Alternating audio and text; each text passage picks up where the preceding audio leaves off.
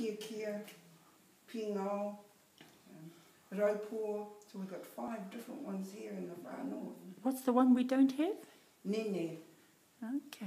Never Yeah, heard of it. It's sort of like um, it's like a it's like a it's like a flex. Yeah. So you know, yeah, and oh, also Hauhere, which is uh, Henny's going to claim this Ah. puti puti, I know. So this is Hauhere, which is a, a, a native plant, which is a lace bark. And so it depends how old the, the tree is that you.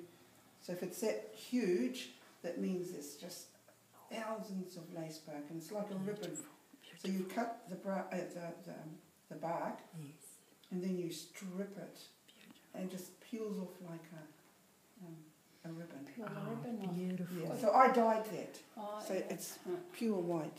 So I dyed it. Pure white. Mm. This is it here. That's it there. That's the green. Oh, the The green. ribbon. Oh, I see. The Yeah. ribbon. Yes, yes. So the Yeah, the ribbon, ribbon. is. Um, Beautiful. So ribbon and none of. Yes. So you know, like, yeah. Yes, I can see the lace in it. in the lace, and yeah, have a look. So it's beautiful. We're very, you know, lucky, and and it's good to learn about the different resources. And you dyed it green. And I dyed it green because Yeah. I wanted to see how we could do ribbons. yes, and, uh, yes, yes. But of course, yeah, you're supposed to lie it flat and, and put heavy. T- And it matches Objects. So, so it's like a fabric Yeah, It's almost. a fabric. It's a fabric. Yes. And did our tupuna use it like that too? Yes, that's how they made their clothes. Beautiful. You know, and pinga was used mainly in the olden days for decorations.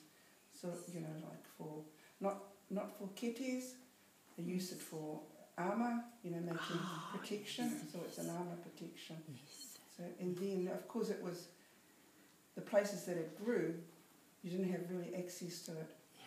So that's the reason that we as weavers were going out to we could, you know, be able to harvest and weave the material.